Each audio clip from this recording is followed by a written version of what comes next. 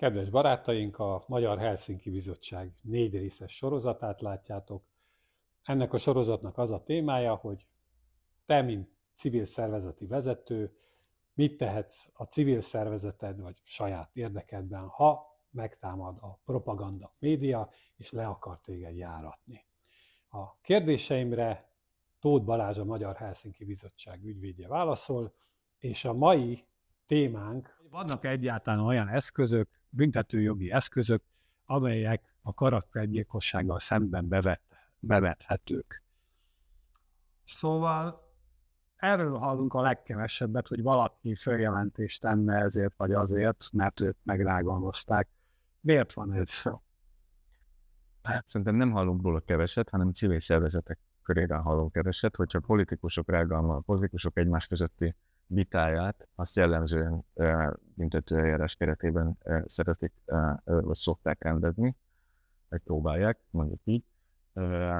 Ennek szerintem van elvi és gyakorlati ö, ö, oka. Elvi például az, hogy én szinte soha nem javaslok büntetőeljárást ügyfeleknek, ezért mert ö, van egy alkotmányos elvi problémám azzal kapcsolatban, hogy büntetőjogi eszközöket is igénybe lehet venni a rágalmazás becsületsértés esetén, hogyha egyébként ott van a sajtóper, meg ott van a polgári jog eszköztár, a büntetőjog eszköztárat az hagyjuk a legutolsó, legsúlyosabb jogsértéseknek meg, és számomra messze nem esik ebbe a kategóriába a, egy tipikus lejárató kampány.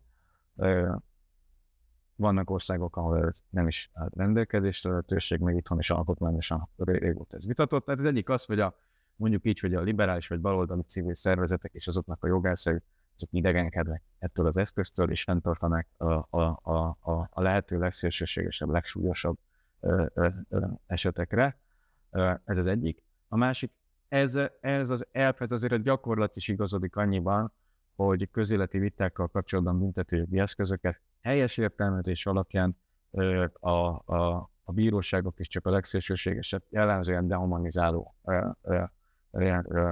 beszédekre tartják alkalmazhatónak. Ez két elvi ok, gyakorlati ok, meg azt nekem ügyvédként, hogy azzal az én ügyfelem nem nyer semmit, hogyha kimondja róla azt a bíróság, hogy elkövetett egy bűncselekményt, azért alkalmaz egy megrovást, vagy szélsőséges eset. Nem az ügyfelet követett el. Bocsánat, a, igen, tehát hogy az ügyfelem sérelmére elkövettek ö, ö, ö, ö, ö, rágalmazás vagy ö, ö, becsületsértés, akkor az, hogy megállapítja a bíróság azt, hogy a vele kapcsolatban tett nyilatkozat az bűncselekmény volt, és ezért alkalmaznak egy megrovást, vagy szélsőséges esetben egy pénzbüntetést, aminek a mértéke az alacsonyabb lesz, mint egy polgári perben egy sérelemdíj, de azt a büntetést azt nem a ügyfelemnek fogják megfizetni, az államnak kell befizetni. Tehát az ügyfelem ebből nem nyer szerintem semmit. Egyébként az eljárás az nincs az én kezemben, hanem az értelemben, hogy egy polgári perben az ügyra a felperes egy ilyen ügyben. Ugyan magánváros eljárásról van szó, de lassabb, bonyolultabb, a büntetőbírók is kevésbé gyakorlottak, és kevésbé is kedvelik ezt az eljárást. És ezer oka van annak, amire ezt nem indokolt, és ráadásul a perköltség, ha megnyerjük, akkor a perköltséget is sokkal kevésbé tudjuk érvényesíteni egy büntetőjárás, mint egy polgárügyben.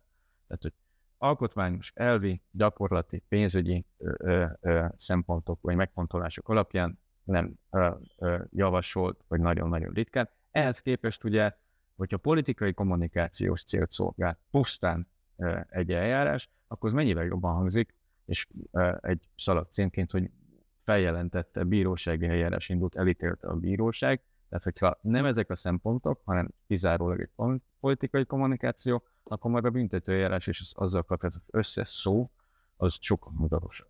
Uh-huh. Tudnál példaként mondani egy olyan rágalmat, vagy egy olyan szituációt, amikor mégiscsak azt javasolnád az ügyfelemnek, hogy, hogy jelentsük föl a rágalmazót? Tehát mi ez a... Egy ilyen, egy, én a saját praktisomban egy ilyen tudok mondani, mivel ez megjelent a nyilvánosságban el lehet beszélni, ö, egy ö, ellenzéki politikussal kapcsolatban ö, egy ö, propaganda termékben megjelent egy olyan publicisztika, amiben kizárólag ö, az egyébként női országgyűlési képviselőt kizárólag dehumanizáló kontextusban tüntették fel, baktériumhoz, vírushoz, fertőző betegséghez, a parlament széksorai között megbúvó, nem tudom milyen állathoz hasonlították. Ez volt az egyetlen olyan cikk a praxisomban, amit polgári szakban, és úgy nyertünk meg, hogy a teljes cikket töröltették, tehát egyetlen egy betű sem maradhatott meg belőle, és ez volt az egyetlen olyan ügy, amivel kapcsolatban az adott újság főszerkesztőt és a cikk szerzőit is jogerősen borasztalták. Azt gondoltam, hogy ennek van elvi értékű, vagy elvi üzenete, hogy ezt a fajta beszédet, amit a 40-es években engedtek meg csak maguknak a nácik, ezt ne. Tehát, hogy itt ezenek egy szimbolikus üzenet. Soha egyéb ügyben senkinek nem olvasoltam a büntető feljelentést. Nem is vállaltam, azt hiszem, magánvádas eljárásban, de nem én. Ja, többször említetted ezt a magánvádas eljárást.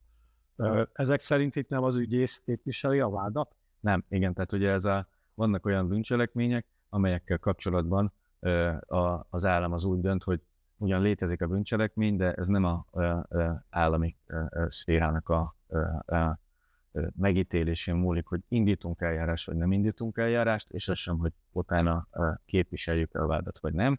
Ez teljesen a magánautonómia körébe tartott kérdés, hiszen ugye magánszférát, privát szférát sértő sérelemről, vagy bűncselekményről van szó, úgyhogy ilyenkor vagy mi magunk, vagy pedig egy ügyvéd az, aki, az, aki a vádat fogja képviselni, ügyészségében nem vesz részt. Ugye akkor, hogyha kell valamilyen nyomozati cselekményt végezni, nem tudom én, a minket rágalmazó személynek nem tudjuk a, a, az idézhető címét, vagy nem tudjuk, hogy ki írta azt a cikket, vagy ki hagyta jóvá, akkor ezzel kapcsolatban egy rendőrségi nyomozás az folyik, vagy folyhat, de utána is a, a, a, a, a vádat képviselni. Tehát a feljelentés sem rendőrségen, vagy bírségen tesszük be, hanem a bíróság. Így van, pontosan. Ez igen, így, így, van, így van, pontosan. Igen, hm. tehát ugye itt a bíróság, a feljelentés is meg nyilván, hogyha rossz helyre tesszük, akkor át fogják tenni, de hogy a bíróság itt e, e, ebben a tekintetben az ügy, ügyra nem kell végigmenni a nyomozós, nyomozóhatóság és az, és, a, és az ügyészség megelőző szakasz, szakaszain. Hm. Ugye két uh, olyan bűncselekmény fajta van a BTK-ban, amely, amely hát ezzel a, ezzel a magatartással, amit mi fekete propagandának, vagy karaktergyilkosságnak nevezünk, kapcsolatos, ez a rágalmaz, rágalmazás és a becsületsértés. El tudnád mondani, hogy mi a kettő közötti különbség?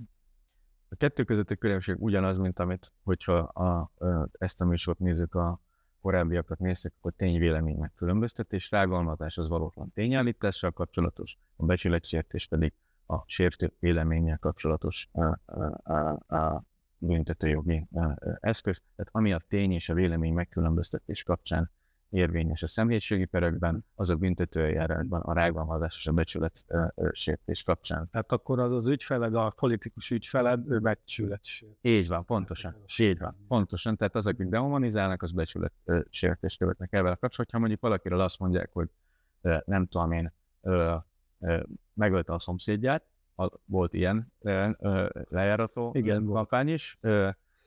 Ő például ugye az egy valóban tény lesz, tehát, vagy nem tudom, megölte volna az anyját. Ilyen is volt. Stíles volt, igen. Igen, igen tehát ugye azt, azt tervezte. Ezek viszont tényállítások, ezek, ezek, ezek, ezek, ezek, ezek, ezek rágalmazásként büntetendőek. Uh-huh. Végezetül ugyan már utaltál rá, de mégis milyen költségei és veszélyei lehetnek egy ilyen büntető eljárásnak, amit azért indítunk, mert minket rágalmaznak. Ez egy nagyon olcsó eszköztár, viszont mint jeleztem elvélet problémás és kevéssé hatékony. Van egy 10 ezer forintos illetéke, hogyha jól tudom most a feljelentésnek, az összesen 10 ezer forint illetéke van. Hogyha nincs kötelező jogi képviselet, ha fizetünk, fizetünk, ha nem fizetünk, nem fizetünk, és ha elveszítjük az eljárást, akkor most a, ha jól tudom, akkor a kirendelt védői óradíj alapján tudunk csak kvázi perköltséget igényelni, vagy egy költséget, hogyha mondjuk velünk szemben indítanak egy eljárást is felmetenek benne minket 2000 forintos óradíj, ügyvédi munkadíj, a lényeg az összefoglalva, hogy sokkal olcsóbb, összemérhetetlenül olcsóbb, mint egy polgári per, így mondjuk veszteni valók ezzel kapcsolatban kevesebb.